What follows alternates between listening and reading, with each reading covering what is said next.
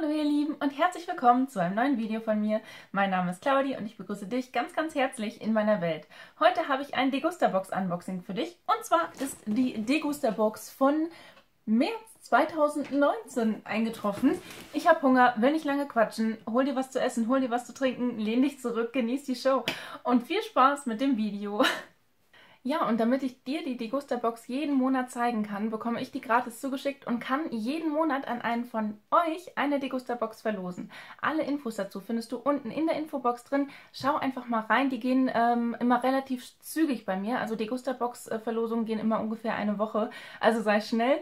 Und ja, ansonsten zeige ich dir mal, was drin ist. Genau, die Degusta-Box kann man abonnieren. Dann bekommt man die wirklich automatisch jeden Monat zugeschickt. Das habe ich vorher auch gehabt. Und ähm, mit dem Code, den du unten in der Infobox findest, kriegst du die sogar noch ein bisschen günstiger. Das ist dann quasi fast zum halben Preis. Das ist ziemlich cool. Und ja, dann kannst du die auch mal testen. Wir haben diesen Monat das Motto Osterbrunch. Ich sehe auf dem Kärtchen auch immer, was schon drin ist und kann dir dann auch immer hier die Preise dazu einblenden, weil sie hier immer mit draufstehen. Das ist total super. Du hast hier ähm, auch immer so Informationen zu den Produkten draufstehen. Dann hast du ein paar Rezepte zu den Produkten, die halt mit drin sind, ne? was man damit so anstellen kann. Und ja, da springen mich schon zwei Produkte an, wo ich schon richtig Bock drauf habe. Los geht's. Achso, und dann ist hier noch so ein Heftchen drin zu Dikoser Backteig Original 1, 2, 3 Fingerfood-Rezepte. Sehr cool. Als erstes habe ich hier, und das finde ich sehr gut, denn wir wollen gleich einkaufen fahren und ich habe äh, Marmelade aufgeschrieben, von Centis eine Marmelade mit 50% weniger Zucker. Feinste Früchte in der Geschmacksrichtung, ich wollte schon Geruchsrichtung sagen, Erdbeere, finde ich so lala. Ich bin nicht so der Erdbeerfan, aber äh, Erdbeere geht eigentlich immer bei jedem, sage ich mal. Deswegen ist es gut, dass es in der Box mit drin ist. Ich bin eher so der Kirschmarmeladentyp. Ja, aber du hast eigentlich in den Boxen meistens Erdbeermarmelade drin. Finde ich aber cool und die probiere ich doch einfach mal. Ich bin auch schon bewaffnet. Ich habe hier schon ein bisschen was stehen. Und dann probieren wir mal ein bisschen Marmelade. Okay, du hast hier Stückchen drin. Finde ich gut. Ich mag Stückchen in der Marmelade. Mag aber nicht jeder. Und das ist ja Osterfrühstück. Und Marmelade ist Frühstück, ne? Mhm. Mhm. Also du schmeckst nicht, dass da weniger Zucker drin ist. Sie schmeckt sehr, sehr gut, sehr fruchtig und echt lecker. Kann daran liegen, dass ich Hunger habe. Ich drehe diese Videos auch immer, wenn ich enorm Hunger habe. Also, ja, verfälscht das Ergebnis vielleicht ein bisschen, aber ne, dann habe ich auf jeden Fall Hunger und kann das alles essen. Aber cool, dass es drin ist, dann muss ich es gleich nicht kaufen. Sehr geil. Dann habe ich hier jetzt aber was drin, was ich leider nicht so gerne mag. Das ist von Be Happy Bio Gewürztee mit Zitrone, Zimt, Ingwer und schwarzem Pfeffer. Der ist mir zu scharf. Den hatte ich schon mal in der Box drin, den mochte ich echt nicht so gerne. Und deswegen wird der auf jeden Fall weiter wandern. Den werde ich jetzt auch nicht öffnen und probieren, weil dann sage ich einfach nur, ich weiß, dass er nicht schmeckt und er schmeckt immer noch nicht. das macht keinen Sinn. So, hier ist dann etwas drin, was hier vorne auch schon abgebildet war. Und zwar Kitzinger Backkönig ist das. Der ist jetzt leider ein bisschen ähm, Seht ihr das? Da ist leider ein, ein Ditcher drin. Da ist irgendwas kaputt gegangen leider. Hm, das ist ein bisschen schade. In Zuckercreme. Aha, da bin ich ja sehr gespannt. Also hier steht, man kann da zum Beispiel feinen Apfelkuchen mitmachen. Das finde ich ja geil. Dann nimmst du 200 Gramm von dem hier. Also quasi fast die Hälfte. Alto Belli, das ist aber ganz schön viel. Und das mischt man dann quasi in, die, in den Kuchen mit rein. So, dann gucken wir mal. Also so sieht es... Ups, so sieht es aus. Ich weiß nicht, ob das so aussehen muss oder ob das cremiger sein muss, weil das ist jetzt wirklich enorm hart. Moment, oh, hier steht auch ein Rezept drauf für Rühr- oder Marmorkuchen. Das ist auch interessant. Kitzinger Backkönig ist für alle beim Backen, besonders in der Weihnachtsbäckerei, okay, das ist jetzt die Osterbox, eine wertvolle Hilfe und unentbehrlich, dabei preiswert und von stets gleichbleibender Qualität. Mhm. Okay, hier steht auch, dass man das ähm, verflüssigen soll, also ist es wahrscheinlich die ganz normale Konsistenz. Kitzinger Backkönig ist eine streichfähige, bei ca. 22 Grad Invertzuckercreme vielseitig verwendbar, zum Beispiel als Brotaufstrich, für Milch- und Mehlspeisen, zum Bestreichen von Grillfleisch und Würstchen. Okay. Im, un Im umweltfreundlichen Becher.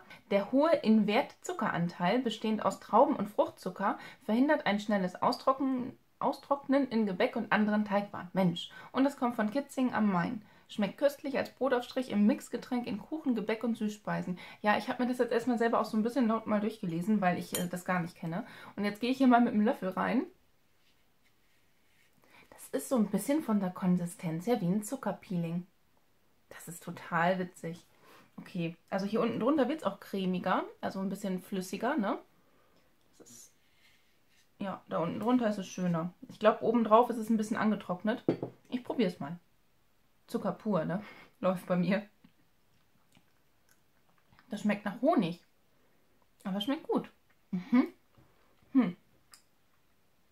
Gut, eigentlich ist es jetzt ja auch nichts, was man unbedingt äh, pur essen sollte, sondern dann in irgendwelche Sachen mit reinmischen soll. Aber ich kann mir das ehrlich gesagt gut vorstellen, das auf dem Brot zu schmieren, weil ich auch gerne damals bei Oma bekommen habe ein Brot, also einfach eine Stulle, dick Butter drauf, so Minimum.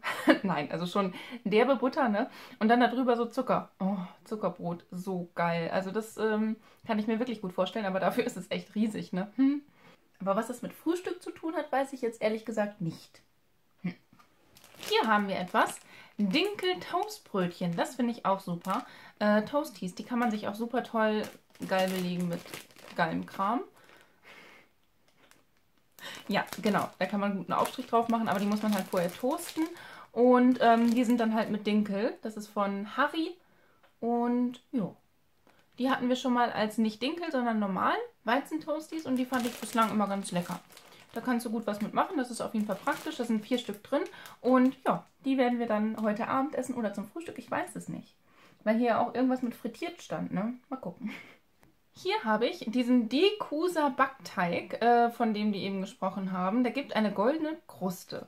Okay, das ist wirklich so ein Pulver, schon vor, vorgemischt, ne? Und ich weiß nicht, Zubereitung. Erhitzen Sie das Öl in einer tiefen Pfanne, mindestens 5 cm tief, bis maximal 175 Grad. Stecken Sie das zu backende Produkt in den Teig hinein, kurz abtropfen lassen und dann in die Pfanne legen, also schon direkt rein. Das ist natürlich interessant, da muss man nichts zugeben.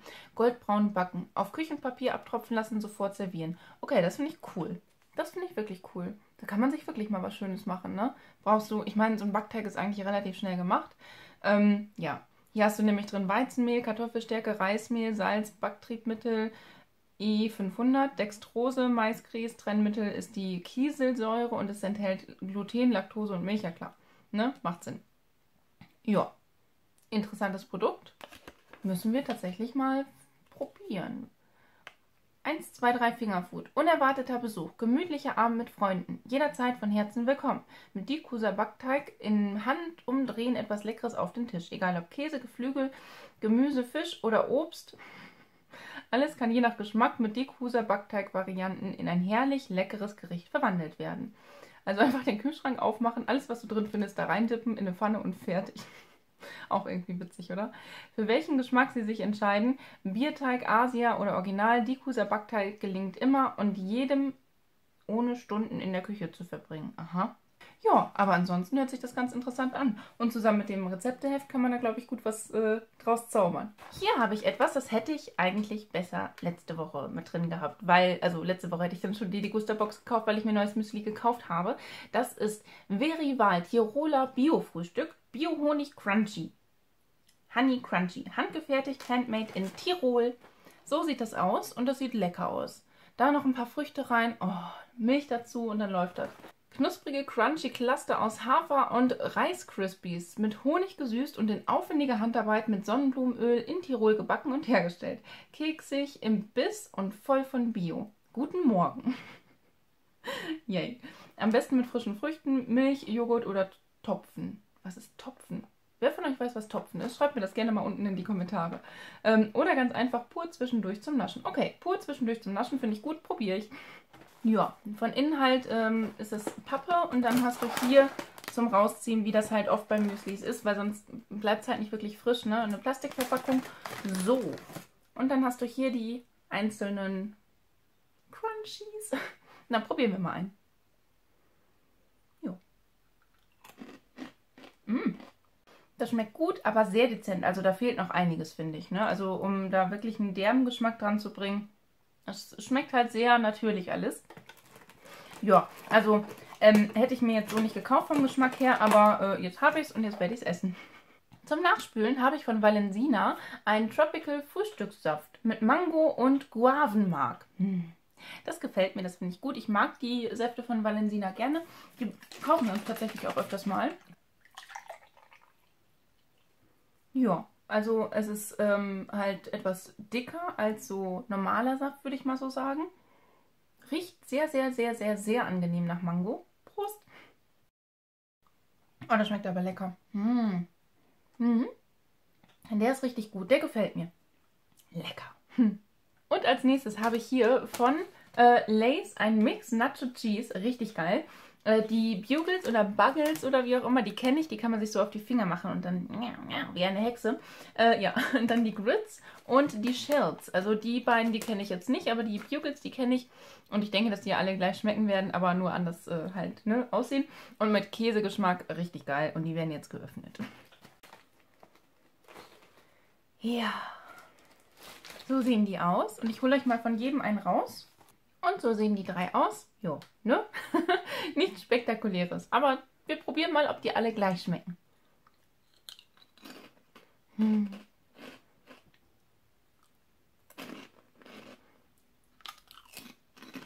Mega lecker. Aber die haben natürlich alle irgendwie gleich geschmeckt, ne? Ja, hier steht auch drauf. Wobei, die Grits und die Bugle, nee, die Grits und die Shells sind ähm, Kartoffelsnack mit Käsegeschmack und die Bugles sind Maisnack mit äh, Käsegeschmack. Ja gut, schaut euch die mal an, die sind richtig, richtig lecker. Die sind nicht so intensiv ähm, im Geschmack nach Käse, aber du kannst es unheimlich super, super, super in äh, so Frischkäse oder so reindippen. Oh, nom. Ich kann es euch nur empfehlen. Und es geht immer weiter mit dem leckeren Kram. Oh, richtig, ich liebe süße Sachen, Leute. Echt, also mit süß kriegt man mich, mit salzig kriegt man mich auch. Süß und salzig zusammen, ein Traum. So, jetzt habe ich als nächstes von Loka Kakao and Milk mit Kakao in der Waffel und hochwertiger Milch. Jo, so sehen die aus. Die kenne ich noch gar nicht. Ohne Farbstoffe, ohne Zusatz von Aromen. Auch das finde ich positiv. Natürlicher Genuss aus Südtirol. Mensch, das ist alles gerade sehr, sehr... Ähm einheimische Produkte, ne? Das finde ich auch cool.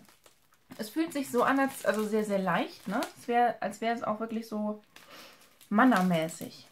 Ja, hier sind die einzelnen Stücke drin. Dann nehme ich mir mal eins raus. Etwas krümmelig sieht das aus. genau, so sieht dann eine Waffel aus und die probieren wir doch mal.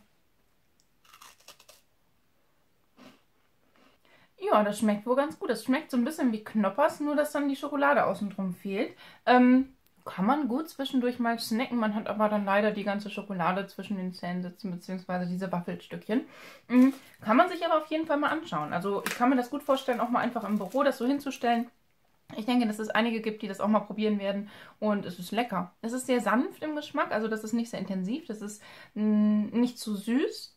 Das finde ich auch cool. Und diese Milchcreme da drin macht das Ganze wirklich ähm, nicht ganz so furztrocken im Mund. Also das gefällt mir wirklich gut. Von daher ja, coole Teile. Wäre ich normalerweise dran vorbeigelaufen, aber so finde ich die echt lecker. Mhm. Doch, das... Mhm. Was macht sie denn da? Ja, ich finde es lecker. Wir sind leider schon beim letzten Produkt angelangt. Hm. Von Werthers Original. Soft Eclair. Mhm. Weiche Toffees mit Schokocreme-Frühlung. Ja. Mhm. Äh, probieren wir die mal. So sehen die kleinen Schätze dann eingepackt aus. Und dann packen wir es mal aus. So, dann beiße ich das jetzt mal eben auf und dann gucken wir uns das von innen an. So sieht das von innen aus. Also ich komme mal noch etwas näher. Mm, du hast da wirklich so eine richtige Schokofüllung. Das ist wie ganz normale Schokolade. Also das ist nicht irgendwie noch ähm, Toffee-mäßig, sondern so richtig Vollmilchschokolade. Ist lecker, aber sehr süß. Wirklich lecker. Du hast es aber nur zwischen den ganzen Zähnen kleben. Also das, dessen musst du dir bewusst sein. Mhm. Ansonsten sind das sehr, sehr leckere Teile, muss ich wirklich sagen. Ich mag gerne Werthers Original, also Werthers Original Bonbons, die harten zum Lutschen halt entsprechend. Ich mochte auch diese Soft Karamell, gab es glaube ich auch von denen, das mochte ich auch gerne. Fand aber auch das schon ziemlich klebrig. Und die hier, das Karamell außen drum zu, hätten die ein bisschen mehr Toffee-mäßiger machen können, dass du es nicht so klebrig halt hast. Ne? Das gibt es ja auch von, von anderen Marken, die das dann ein bisschen ja, fast mehlig gestalten. Ja, das hört sich jetzt auch blöd an, aber das ist halt nicht zwischen den Zähnen klebt. Weiß nicht. Weißt du, was ich meine? Ich kann es gerade ganz schwer beschreiben.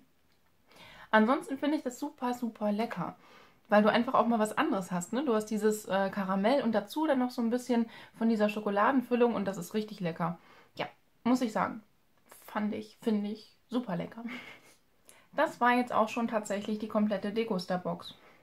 Ich will mehr. Ich will immer mehr probieren. Ich, irgendwie fehlt mir das. Anfangs konnte ich irgendwie mehr probieren. Und jetzt sind es halt sehr viele Snacks, aber das ist halt nicht so, weißt du, so im Winter oder im Herbst war das, glaube ich, da hatte ich dann auch richtig so diese Softbröts und sowas, ne? So, so, weiß ich nicht, irgendwas, was dann auch so ein bisschen satt gemacht hat. Das fehlte mir irgendwie so ein bisschen. Deswegen, also an und für sich mag ich die, die Degusta-Box und ich mag auch die Produkte, die jetzt tatsächlich drin waren. Also die haben mir wirklich super geschmeckt. Da ist nichts dabei, wo ich sage, i. Also mochte ich wirklich alles gerne. Ähm, ob ich alles verwenden werde, auch so diese, diese, diesen Invertzucker und so, muss ich wirklich mal schauen, weil das ist gar nicht so einfach, da mal eine Verwendung für zu finden. Den Bierteig finde ich, oder den äh, Backteig finde ich richtig cool, ist eine coole Sache. Da kannst du dann einfach deine Sachen reindippen, ab in eine Pfanne, beziehungsweise in so eine mit so viel Öl befüllte Pfanne und dann hast du dein Yum. Ist schon cool. Ich blende hier aber mal den kompletten Wert der Produkte ein. Ich bin wirklich gespannt. Mm, ich würde ihn so auf 25 Euro schätzen. Ganz grob. Grob. Ne? Ich und meine Schätzung immer. Passt der Inhalt zum Motto? Das ist wirklich eine gute Frage. Ähm, ich persönlich würde sagen, jein. Also Osterbrunch teilweise. Ja, auch die Wetters Original passen zum Thema Ostern, weil du ja drin eine Füllung hast, die versteckt ist. Und Ostern versteckt man Eier. Aber es war nichts mit Eiern dabei. Also selbst wenn das irgendwie so gewesen wäre, dass man einfach eine Packung gefärbte Eier, schon gekochte Eier mit reingepackt hätte, das wäre für mich tatsächlich mehr österlich gewesen. Ähm, Habe ich ein bisschen vermisst. Ansonsten, du hast eine Marmelade, du hast diese Dinkel-Toasties, da kannst du dir auch ein schönes Frühstück mitmachen. Ähm, ja, einen schönen Frühstückssaft. Also im Prinzip, ja, ist es so, aber irgendwie waren dann doch ein bisschen viele snackige Produkte mit dabei. Naja, aber trotzdem, die Produkte an sich haben mir gefallen, aber zum Thema passend eher so lala. Ähm, ja, wenn dir das Video gefallen hat, dann lass mir doch sehr, sehr gerne einen Daumen nach oben da. Würde ich mich mega drüber freuen. Ansonsten wünsche ich dir einen wunderschönen Tag, einen wunderschönen Abend. Lass es dir ganz einfach gut gehen. Fühl dich ganz doll gedrückt von mir. Ich verlinke dir, nachdem ich mein Kleidchen mal runtergezogen habe. Mensch. Furchtbar. Ich verlinke dir hier oben mal meine Playlist zu den ganzen Unboxings meiner Abo-Boxen. Hier unten meinen neuesten Upload. Auf dieser Seite noch ein Video von mir. Und hier oben kannst du, wenn du möchtest und es vielleicht noch nicht getan hast, mich einmal kostenlos abonnieren. Würde ich mich mega drüber freuen. Lass es dir gut gehen und hoffentlich bis zum nächsten Mal. Ciao!